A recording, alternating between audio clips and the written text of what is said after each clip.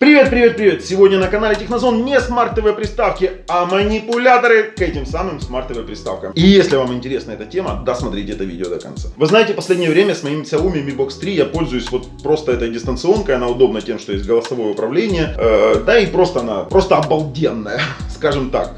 Но с некоторых пор мне перестало хватать этой дистанционки, все потому что у меня неудобно набирать э, текст, э, мне, мне не хватает скорости переключения между э, какими-то элементами интерфейса. И я, вы знаете, обратил внимание на аэромыши, либо на манипуляторы, которые похожи на аэромышь, либо это комбинированные мыши клавиатуры и решил сделать обзор тех устройств, которые доступны мне. Я позвонил в наш любимый магазин smarttvbox.com.ua, который я вам советую, настоятельно рекомендую, заказывайте и будет вам счастье. Так вот, этот самый магазин мне выставил 5 устройств для, скажем так, небольшого тест-драйва. Моя цель этого тест-драйва – выбор именно устройства под себя. Я его действительно себе покупаю и действительно им буду пользоваться. И когда я получил эти 5 устройств, я был немножечко обескуражен. Настолько разнообразные они были. Например, это были вот такие вот аэромыши. Также это были вот такие вот комбинированные пульты с аэромышью и полноценной QWERTY клавиатурой, что мне тоже немаловажно. Кстати, дизайн у этой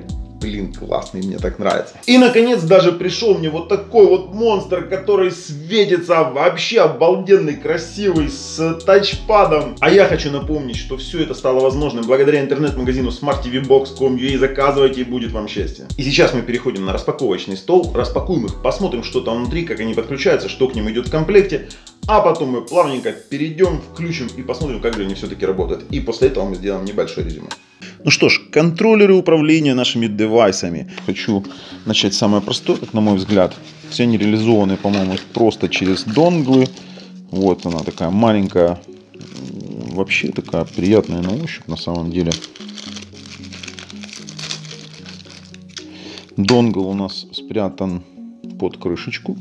То есть сюда достаточно просто вставить батарейки, вставить донгл в саму приставку и в принципе можно ей работать. Вот есть кнопка калибровки, клавиатуры здесь нет. Это самая простая аэромеш с регулировкой громкости. Есть кнопка «Домой», есть кнопки пролистывания вверх-вниз, ну и обыкновенный джойстик с кнопкой «Ок», кнопка «Назад» и кнопка э, «Свойства». А теперь хочу посмотреть э, по старшинству дальше. Да? Пойдем по удобству, по, на, мой, на мой взгляд.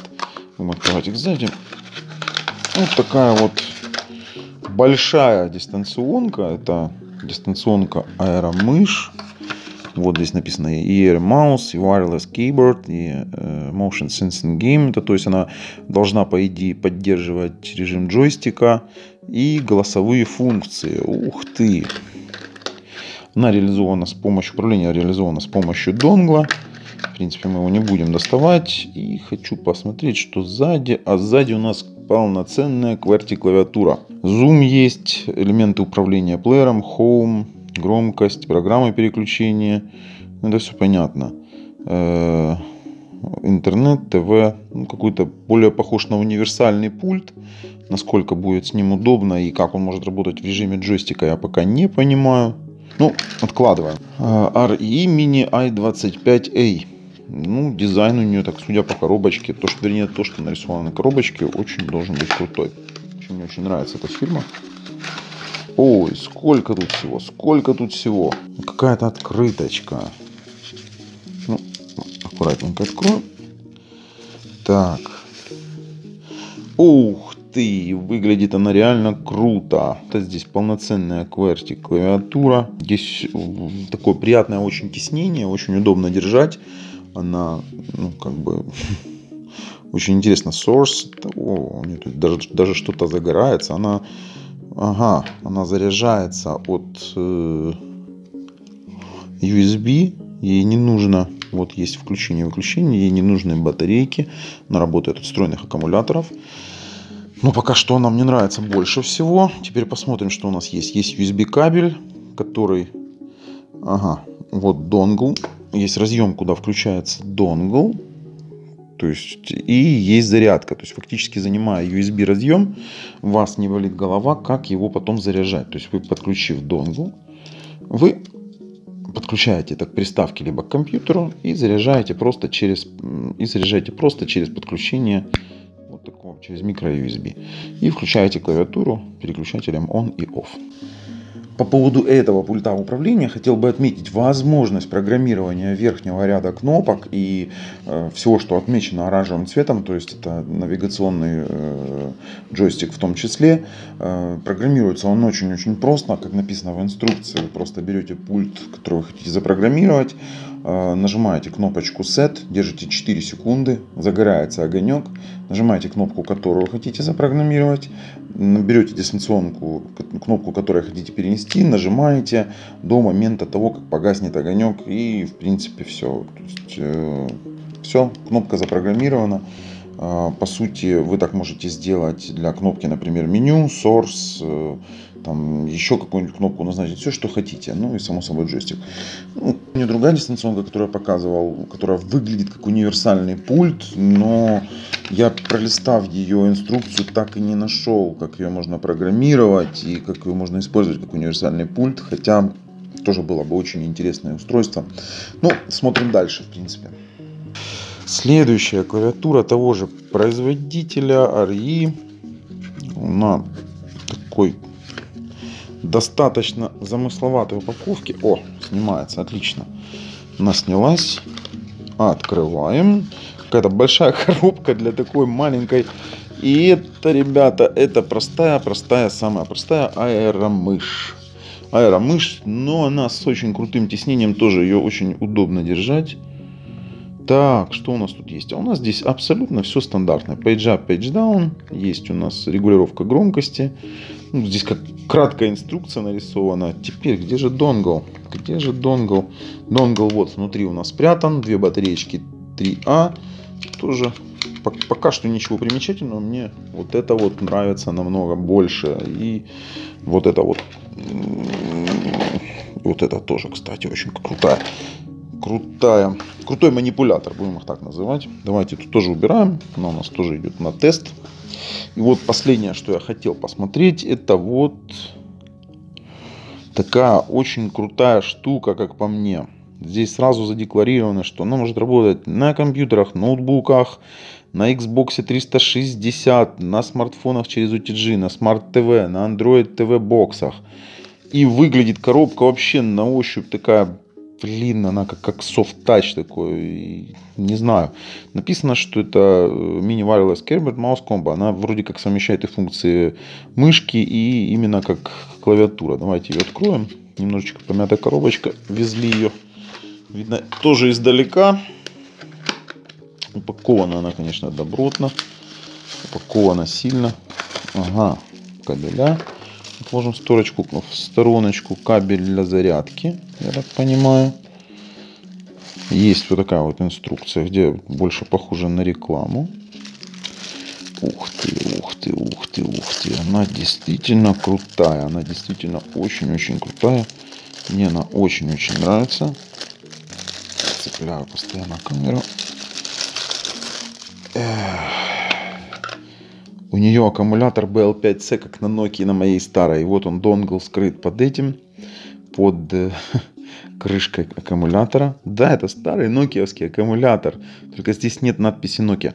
Вы знаете, э, есть небольшой запах пластика, когда открываешь. Э, аккумулятор можно заменить двумя батарейками 3А что, ну, вообще это универсально, круто. То есть, если у вас там где-то этот аккумулятор сейчас разрядился, он, у вас нет возможности его зарядить, то я думаю, просто вставили три батареи, две батарейки, вернее, и все, и пошли. Донгл здесь на месте. Здесь полноценная QWERTY клавиатура с функциональными кнопками для компьютера. То есть она 100% может подключиться к компьютеру. У нее есть до F12 кнопочки, F11, F12 через кнопку Function. Э, есть режим нажатия кнопки мыши э, левая, правая, есть page down, page up. Фактически это стопроцентная такая, знаете, мини-ноутбук клавиатура нажимается, очень круто, очень приятно. Такой. Здесь есть э, volume up, volume down, то есть это можно регулировать вверх-вниз, громкость, вернее, громче, тише. Вау, приятно, приятно. Светится она очень приятно.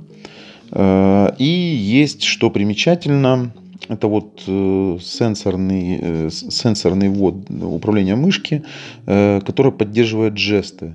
В принципе, те, кто часто пользуется ноутбуками, они знают, что проведение двумя пальцами вверх-вниз, это скролл вверх-вниз, это вот именно для ноутбуков больше подходит, либо для стационарных компьютеров. Ну и стандартный джойстик лево-право вверх-вниз, окей, кнопка домой, поиск и интернет для пользователей интернета, есть кнопка выключения звука, почта и медиаплеер. Это вообще, по-моему, такая полноценная стандартная PC-клавиатура. Но ее, скорее всего, можно подключать и к Smart TV боксам. Не, скорее всего, а так оно и есть. И мы подключим и посмотрим, что же она такое может. Как на компьютере, так и на Smart TV. Ну что, в руках у нас есть куча разных девайсов. Первый, который мы вставили, вот э, i7 и мини, да, мы уже вставили батареечки, не буду его закрывать, потому что просто потестируем его дальше. Вот его донгл, мы его вставляем. Мы его вставили, на экране мы видим, начала бегать мышь.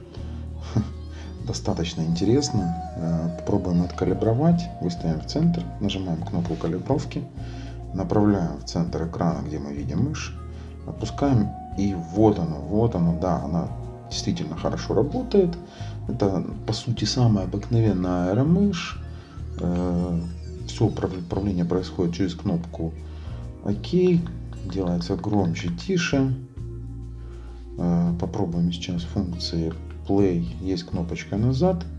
Ну, очень удобная аэромышь, она не дребезжит. Я просто видел когда-то аэромыши, у которых из-за гироскопа дребезжит сам по себе указатель. Пробуем запустить любое видео на YouTube.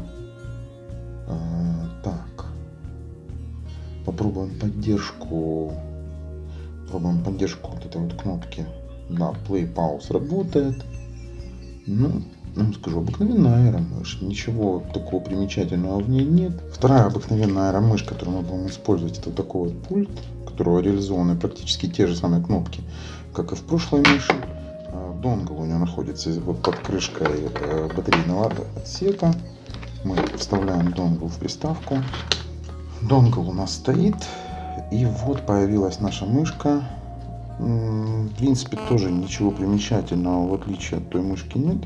Кроме расположения кнопочек. Вот есть назад, назад. Попробуем откалибровать. Выставляем в центр. Выставили в центр. Нажали кнопочку калибровки. Нет, не получилось. Вот, нажали кнопочку калибровки, выставили в центр. И она, ну, она работает, вы знаете, немножечко такая более как бы в, в киселе, что ли. Не знаю, как это объяснить. Но вот на предыдущей мышке такого не было. Там было более точное такое позиционирование. Попробуем, как она работает в YouTube. Ну, неплохо очень неплохо, она работает и мне очень сильно нравится. Ну, в принципе, как обыкновенная аэромышь. Но здесь, в отличие от той мыши, не реализованы, допустим, э, кнопки управления э, проигрывателем. Да, то есть нет здесь там play pause, как в прошлой, как в прошлой мыши. То есть здесь необходимо все это делать через через что это необходимо делать. То есть фактически нажимать вниз, наводить на паузу. Да, в этой мышке оно сделано немножечко не так, как в предыдущей. В предыдущей было удобно вот именно из-за наличия вот той самой кнопки управления плеером. Здесь такая кнопочка, к сожалению, не реализована. Вот это вот пресловутая, которая э, хотел попробовать дистанционка с э, функцией мыши, клавиатуры и прямо геймпада. И вот, э, ну не знаю, то есть как аэромышь она, конечно, работает, но я вам скажу, размах здесь еще больше. Из-за ее габаритов э, ну, крайне, крайне тяжело угадать, куда попасть. Ну, то есть ее необходимо калибровать кнопка калибровочки. Давайте с вами посмотрим, есть она или нет. По крайней мере, я ее не вижу. поэтому калибровать будем по нижнему углу, то есть фактически наводим мышь в левый нижний угол и направляем туда дистанционку. И когда уже выходим, у нас в принципе такая калиброванная мышь. Но знаете, что неудобно? Есть очень классно это э, навигационные кнопки управления плеером. Например, тем же самым YouTube. Мы сейчас нажмем на ролик и пробуем попроигрывать, потормозить, поперематывать. Ну, они работают, допустим, это очень удобно, это несомненный плюс данной дистанционки. Э, можно попробовать лево-право. Да, он переключает э, ролики, перематывает, то есть, ну, вообще отлично работает. Что за кнопки э, зума, для меня непонятно. В плеере они Оп, ага, если нажать кнопочку поиск, вываливает нас в стандартный браузер. Zoom тоже для меня здесь он не работает, непонятен. Есть кнопка Home, она центральная.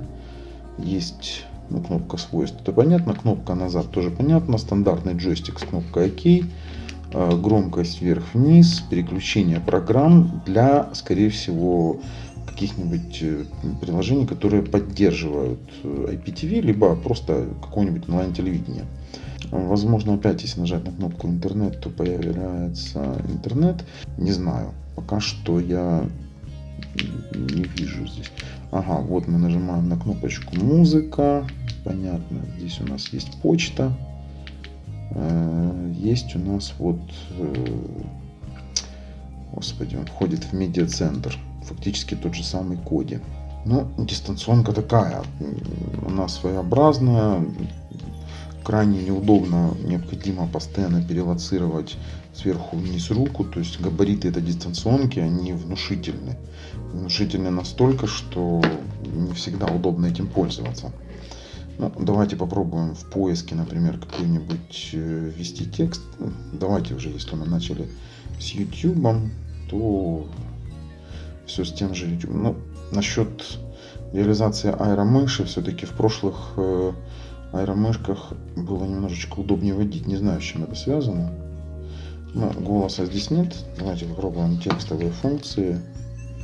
Например, там, я не знаю, что-нибудь фани видеос, да, там напечатаем фани. Ну, печатает он очень хорошо. То есть нет никаких проблем с э, набором текста. Есть навигационные кнопки на этой стороне есть э, какие-то кнопки, э, вернее, есть символы через Alt, есть Caps Lock, есть Escape. Ну, то, то бишь выход назад. Ну, в принципе, это самая обыкновенная клавиатура. Не думаю, что ей было бы удобно пользоваться на стационарном компьютере. Ну и пульт или аэромышь, или что это, или вот ну, такой сам по себе э, пульт дистанционного управления, который мне нравится по дизайну более всего. То есть здесь можно дотягиваться до всех кнопок без перекладывания в руке дистанционки. Ну, достаточно интересный дизайн. Кнопки сзади мягкие, эластичные. То есть не вызывают э, никакого дискомфорта. Когда держал я предыдущую, там кнопки были слишком рельефные и очень сильно дискомфорт был в руке. Этот пульт ну, не знаю, давайте попробуем подключить. Здесь, я напомню, реализован донгл вместе с зарядкой через USB кабель. Подключаем. Так, подключили. Мышка забегала. Кстати, блин, размах классный у нее. Так она достаточно точно срабатывает. Что это за кнопочка?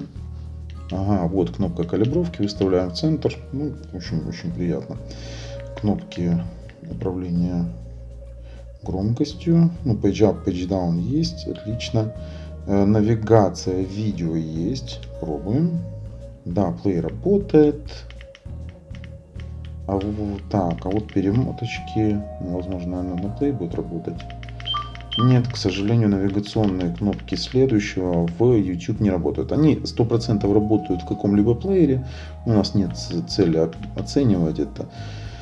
Наша цель составить первое впечатление. Сейчас попробуем с клавиатурой поработать.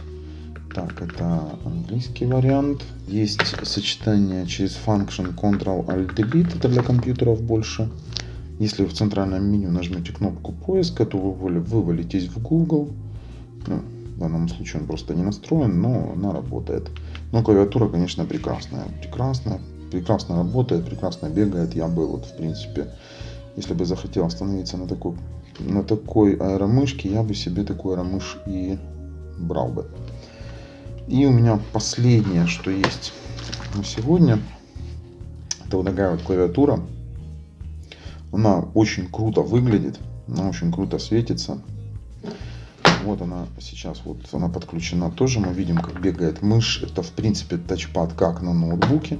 Она поддерживает э, жесты. Допустим, двумя пальцами мы можем вводить, и мы видим, как переключить, как э, движется у нас меню. Здесь нет определенной кнопки назад. Здесь есть вот э, кнопка мышь, э, прав, правая кнопка мышь, что, в принципе, отвечает за функцию назад в, в стандартной дистанционке. Э, также здесь мы видим ряды э, от F1 до F10 и через function F11 и F12, что в принципе ну, хорошо для работы за компьютером. Есть кнопки быстрые. Так, выходим. Есть кнопочка домой, есть кнопочка интернет. Срабатывает мгновенно, нас выкидывает браузер. Есть кнопка поиск. Это тоже все прекрасно работает. Есть кнопочка медиаплеер, она выкидывает на музыку. Есть кнопка для вызова быстрого почты. Ну, кнопка отключения включения звука, она стандартная. Все остальные кнопки, вот у нас есть навигационная кнопка к управлению плеером, поверьте, она работает во всех. Есть кнопка управления громкостью и стандартная кнопка по управлению самим устройством. Если работать э, в режиме мыши, то в принципе просто тап по тачпаду э, эмулирует нажатие, в принципе, как, как э, и на самой аэромыши. Да? Нажатие кнопки Акин. Либо есть вот кнопочки, у нас кнопка у нас есть срабатывание мышки левой кнопки, либо правой. Очень плохо, что здесь нет кнопки включения-выключения, то есть вы фактически не можете перезагрузить приставку с помощью этого устройства, только лишь если в меню выберете об устройстве перезагрузить, что в принципе не очень удобно.